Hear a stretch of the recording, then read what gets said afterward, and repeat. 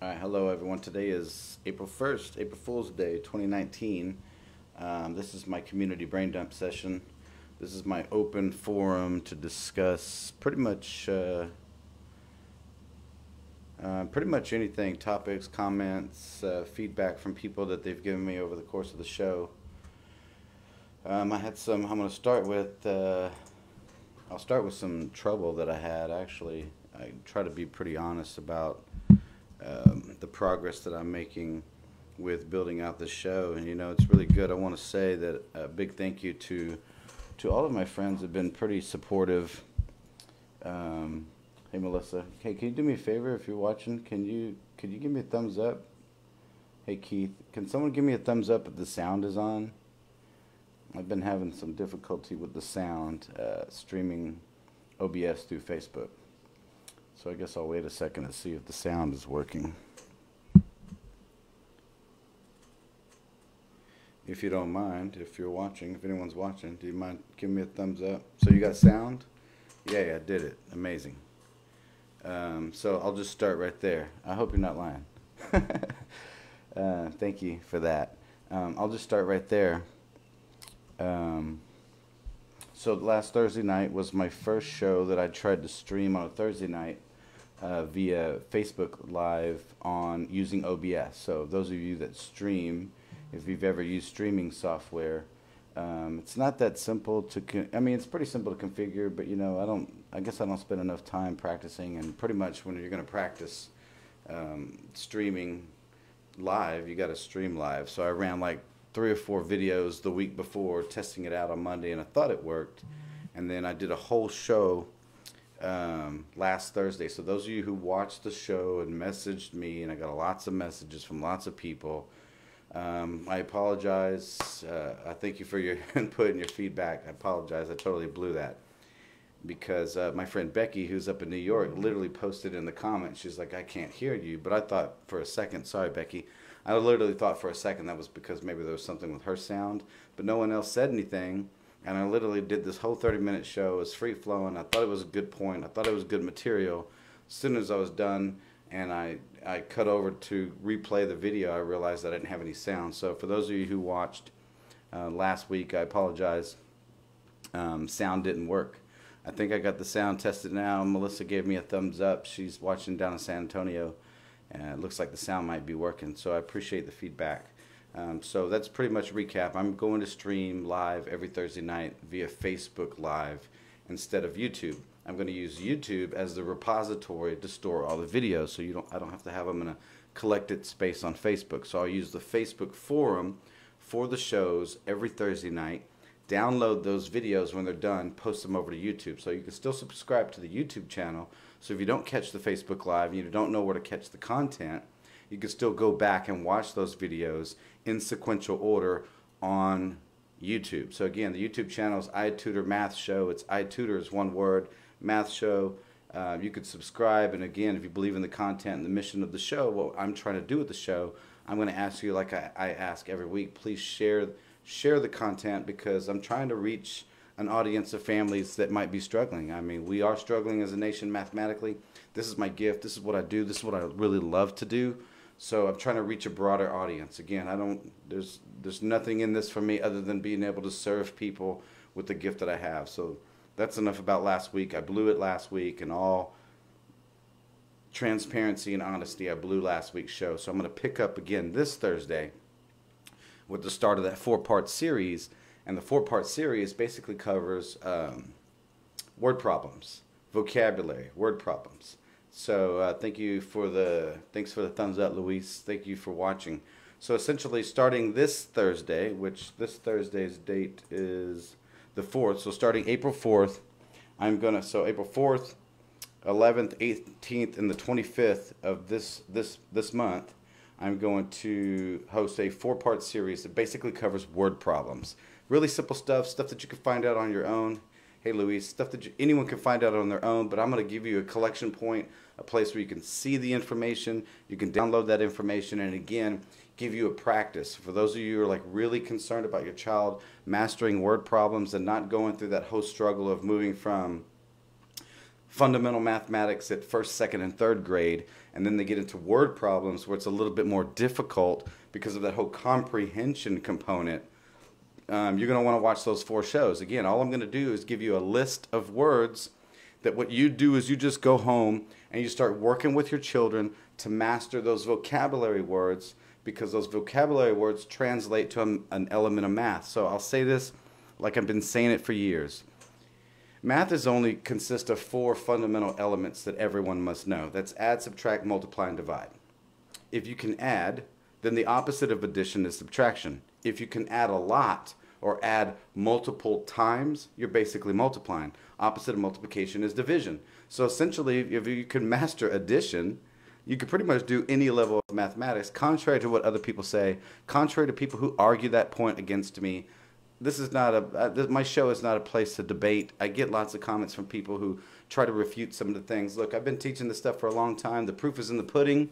And like I told my boy Jay Allen, my video guy, there's a lot of pies out there that I've helped make the past 15 years. Lots of families that have been touched, lots of families that have been uh, blessed by the efforts to try to help them, not because of something great in about me, but just giving the gift that I have. So again, four part series starting Thursday touches on nothing but uh, word problems and the vocabulary that you could start working with your child to help them prepare. So when they see things like increase by or more than or quotient or less than, those kind of key words, those keyword indicators, they'll know exactly um, they'll be prepared to handle those word problems because that's what you want, right? You don't want the, you don't want the language of mathematics getting in the way, which leads me to another point I want to talk about real quick. And there's there's my boy, Mr. Polito. Those of you who went to Northside, grew up in the Northside area. Mr. Polito was my literary mentor. He's a big advocate. Don't read his comments. His his account probably got hacked. Um, so moving into that, I want to say I got your message. So my boy, my buddy Mike Peters. Um, I posted some information way back when I was uh, starting to build out the logo for the show and trying to get the design for the show. Um, his grandson Owen actually gave some really good feedback.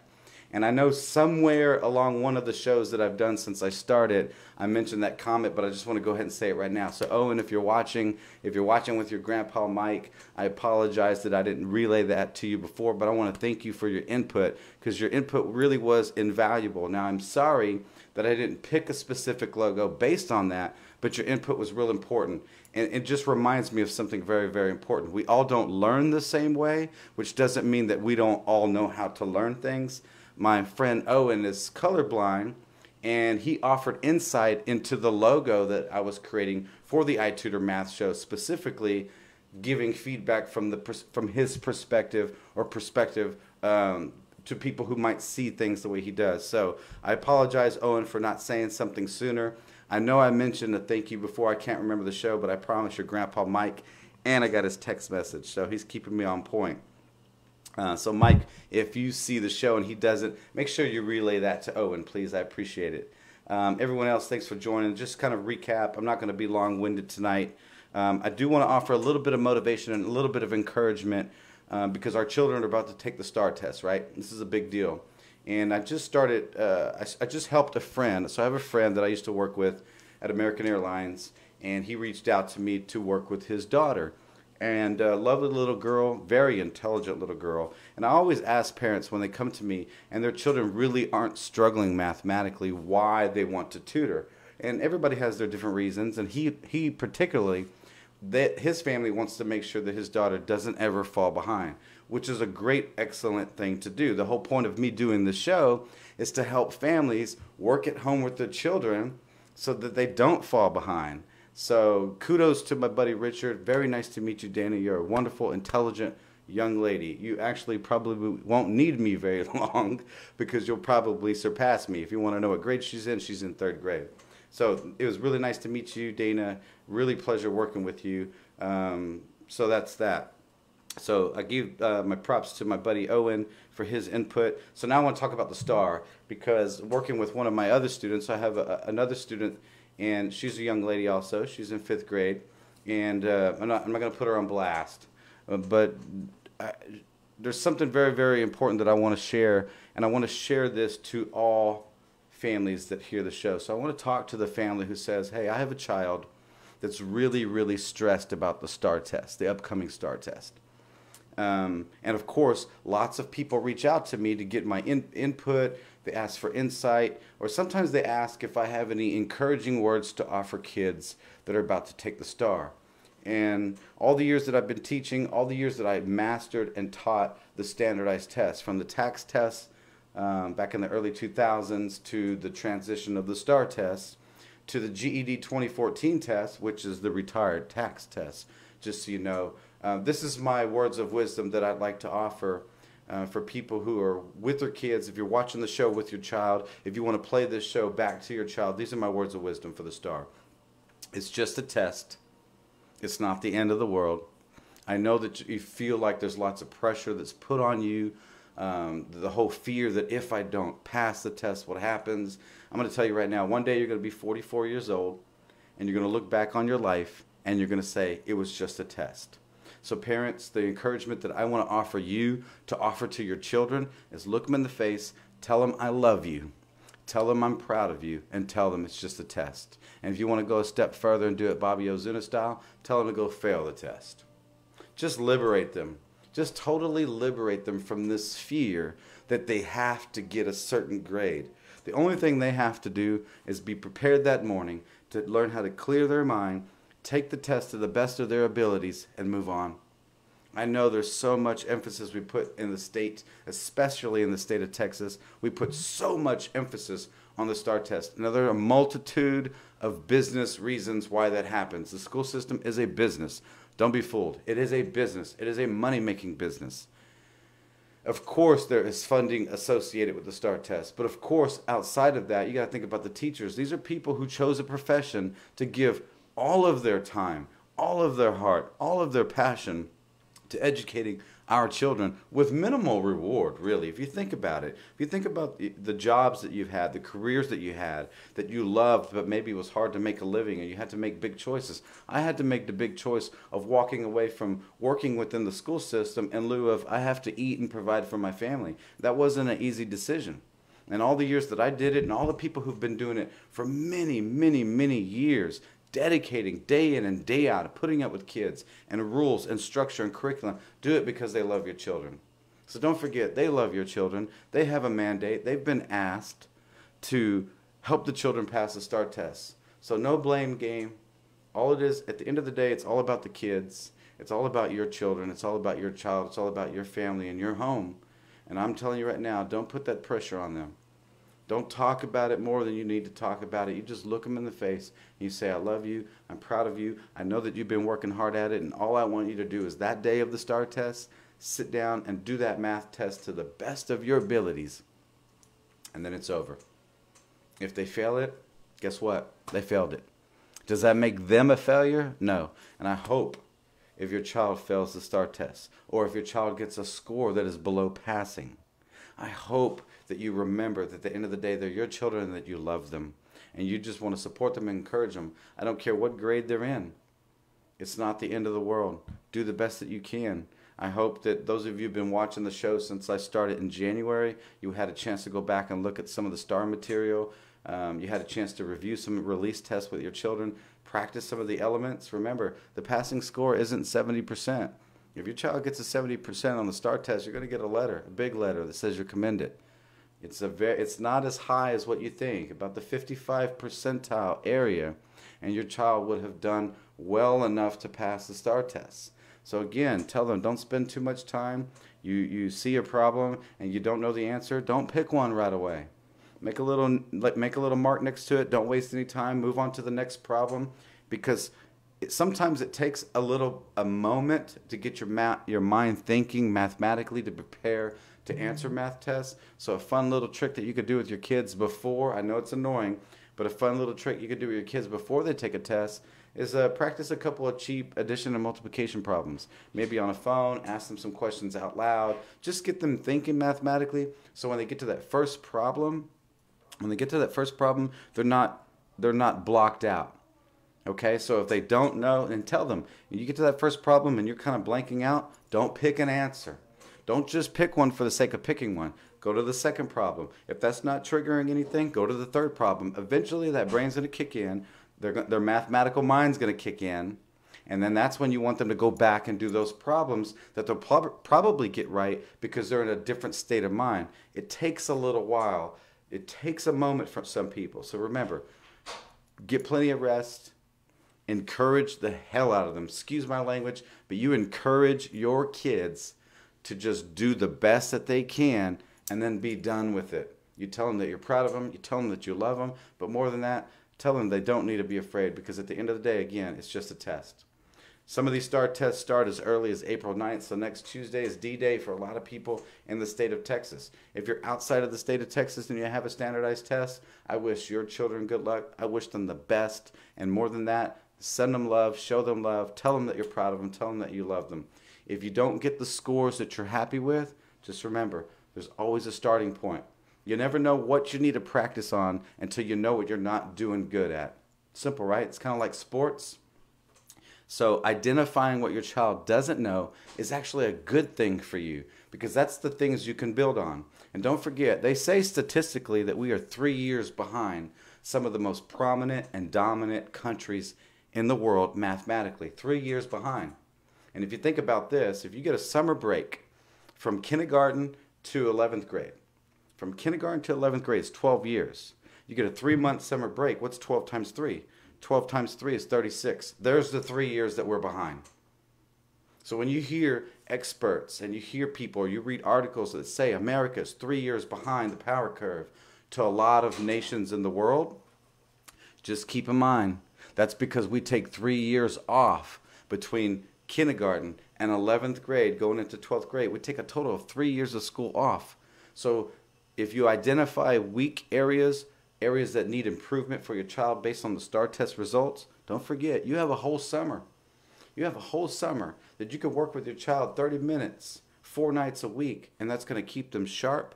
It's going to help enhance those skills. And it's also an opportunity that the time that they don't get in the regular school system because they have a curriculum and they have to follow certain calendar dates to move on in material, you don't have that at home. You have the luxury of saying, I can spend a month learning how to multiply fractions if that's what it takes for my child. You have the luxury of saying that I can spend a month learning how to do one step equations if that's what it takes. Or I can take three months all summer long, four nights a week, 30 minutes a night, helping my child with um, slope, understanding linear equations. You give them that time. All the things that I teach on the Thursday night show are things that your child needs to know. So keep that in mind. You keep watching the show, you stay current with the things that I'm sharing with you. I'm telling you right now, whether you're an adult student going back to get your GED, if you're an adult student that has to remediate in college to get to college math, or you're a child as young as first grade, everything that I teach and I talk about on the Thursday night shows is relevant for your academic career. So I hope you stay in touch with me. I hope you continue watching. I hope you continue to pro- provide me feedback. Everybody who messages me, you reach back out to me, you provide that input. I really appreciate it because again, ultimately, the whole purpose of me doing this show is support is to support your family and your child because I believe that we can do better in this country. I think that we can blow out every nation in the world. That's just me. I might be a little arrogant mathematically, but that's what I believe. So, um, thank you, Luis. Hey, uh, thank you, Luis, for that comment. Did you tell your students that they have to stay awake in order to learn your lesson? I'll tell you right now, Captain, my captain, I learned from you. No one falls asleep while I'm talking. So I appreciate everybody who's supporting.